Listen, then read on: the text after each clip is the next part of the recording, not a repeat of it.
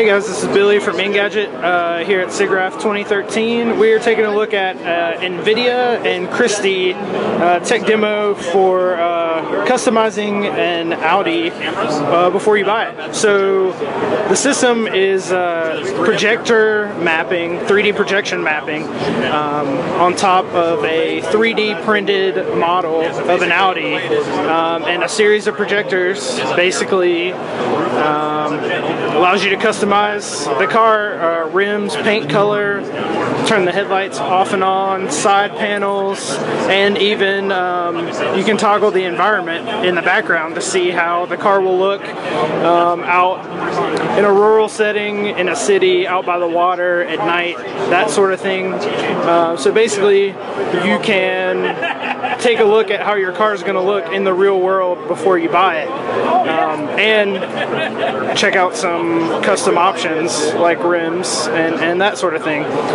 So the whole thing runs on uh, RTT DeltaGen technology that Audi already uses and NVIDIA Quadro and Christie projectors, as we've already mentioned. So once again, this is the NVIDIA, Christie, and Audi customization tech demo.